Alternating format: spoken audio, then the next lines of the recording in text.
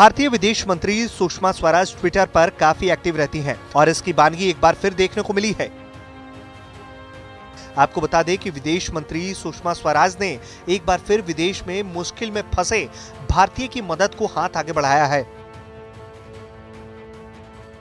Twitter पर अफ्रीकी देश डेमोक्रेटिक रिपब्लिक ऑफ़ कांगो से एक भारतीय ने सुषमा स्वराज से मुश्किल में फंसे एक भारतीय परिवार की मदद करने की अपील की।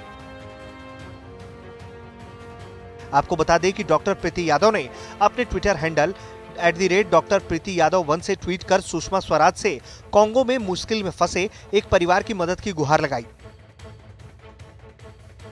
डॉक्टर प्रीति ने अपने ट्वीट में लिखा, हमारा एक भारतीय सुनील शर्मा, जो डेमोक्रेटिक रिपब्लिक ऑफ़ कांगो के किनशासा शहर के एक अस्पताल में लैब टेक्नीशियन के तौर पर काम करता था, उसकी दो दिन पहले ही मौत हो गई है। लेकिन उनके परिवार के पास सुनील शर्मा के शव को भारत लाने के लिए पैसे नहीं है। क्या हम आपकी तरफ़ से मदद की उम्मीद कर सकते हैं? धन्यवाद।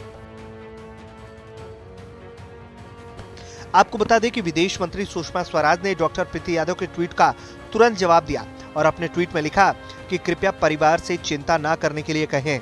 हम अपने खर्च पर कांगो से शव को लाएँगे। इसके साथ ही विदेश मंत्री ने कांगो के भारतीय दूतावास को अपने ट्वीट में टैग करके भारतीय परिवार की मदद करने के लिए कहा।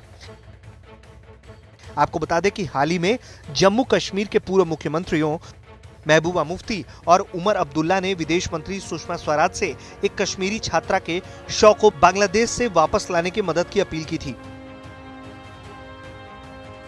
आपको बता दें कि अनंतनाग ज़िले की रहने वाली कुरातुल एन की शनिवार को बांग्लादेश में मौत हो गई थी। वो वहाँ ताहिर उल निसा मेडिकल कॉलेज में एमबीबीएस की पढ़ाई कर रही थी। प्रिया, सुषमा स्वराज जी, कुरातुल एन, एक कश्मीरी छात्रा की बांग्लादेश में मौत हो गई है। वो ताहिर उल निसा मेडिकल कॉलेज में अपनी पढ़ाई कर रही थी। आपसे अनुरोध है कि मृतका के शव को उसके परिवार तक पहुँचाने में मदद करें।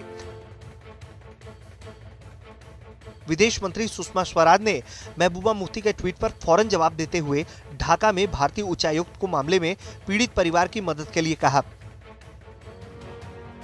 आपको बता दें कि ऐसा पहली दफ़ा नहीं है जब विदेश मंत्री सुषमा स्वराज ने विदेश में मुश्किलों में फंसे भारतीयों की मदद की हो। इससे पहले भी सुषमा स्वराज ने कई दफ़ा दूसरे मुल्कों में मुश्किल हालात में फंसे भारतीयों की मदद की है। ब्यूरो रिपोर्ट, भारत तक।